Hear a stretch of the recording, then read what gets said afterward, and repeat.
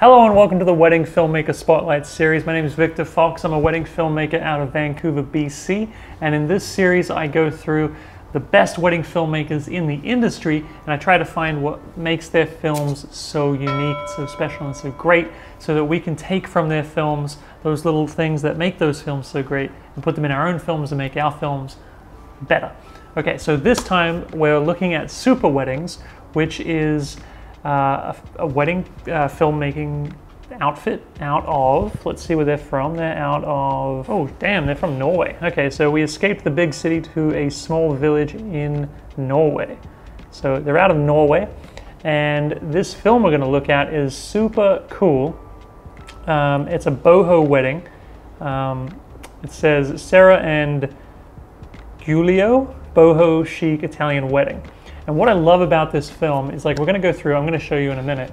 Um, let me just show you first. Let's go through a little bit. I'll show you a little snippet and then we'll go through and I'll tell you what I like about it. It does not matter how you feel, for this kind of love has a bond of steel.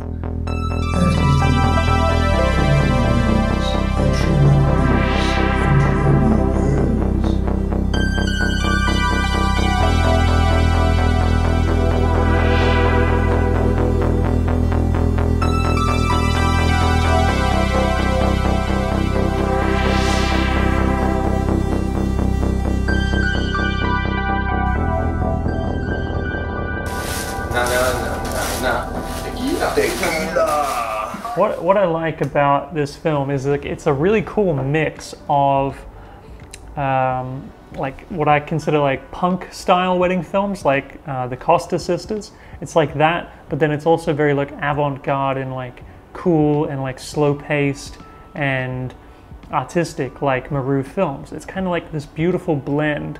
It's like is it, or maybe like Riccardo Fasoli, you know, like Creative Weddings. It's kind of like if if the Costa Sisters and Maru films and Creative Wedding all got together and created a wedding film. This is kind of what it would be like. So, um, you know, the way it goes is like there's a lot of like handheld stuff. There's a lot of, you know, like upbeat stuff, but then there's also a lot of static stuff, a lot of like slow motion stuff.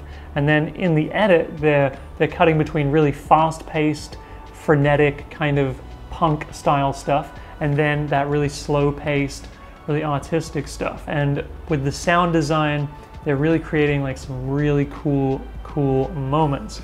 So it's like a collage of punk retro imagery. And I think um, to do this kind of thing, um, you have to really like be understanding of the different styles of wedding filmmaking and then like try to find a way to combine them. So like find what you like.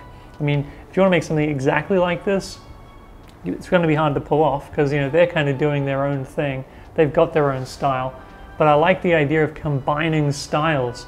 I think this is something that we could all do, you know, take, take things from the different styles that we like and then bring them together. Um, it really does work, I think, really well. And I think it's mostly because of the sound design. You know, they're, they're, they're going from like that, that like punk or heavy rock music kind of soundtrack or that funky soundtrack and they're going into this like neon 80s synth kind of sound, and then that is like really uh, complemented with the slower visuals and the more static shots, the more artistic shots. So really, really cool stuff from Super Weddings. Also, amazing name. Who doesn't love the name Super Weddings? So um, let's take a look at a few more shots here. See if I can just skip through. See, like this is a cool shot. This is like, you know,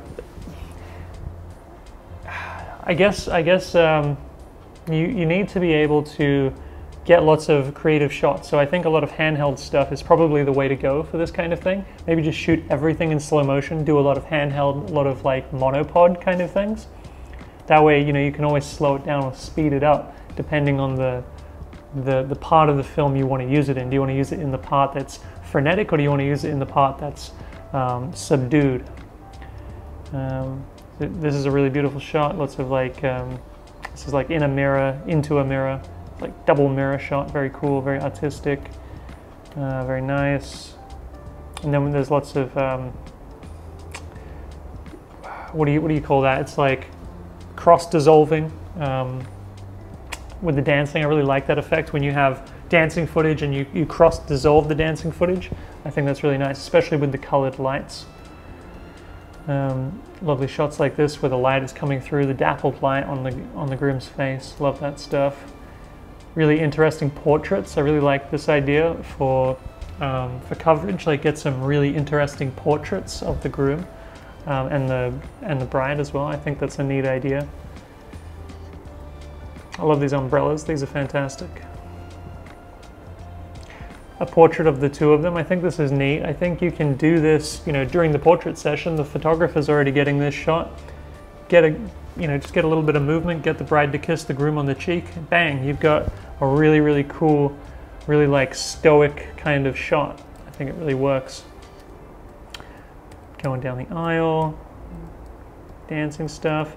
Yeah, really, really neat. I definitely recommend you check out Super Weddings to to see how they blend these styles. They, this whole section here is really interesting too when the, um, the, the, the, groom and, and his uh, groomsmen are getting ready. It's like really like, it feels like a television documentary or something. It goes from like this punk style to this like television documentary style to this like totally avant-garde and artistic thing. It's like really, really cool how they blend all these different popular styles of wedding film. Um, so go and check out uh, Super Weddings. They make really, really great stuff. Uh, highly recommend them. Um, if you're in Italy, definitely hire them. Um, if you have any other recommendations for wedding films or wedding filmmakers I should uh, review and critique on this channel, please leave them down in the comments section below. It would be my pleasure. I'm always looking for new wedding filmmakers to, uh, to, to look at and learn from. So please leave them down in the comments section below. And don't forget to like and subscribe to this channel for more content like this in the future. All right, I'll see you all in the next video.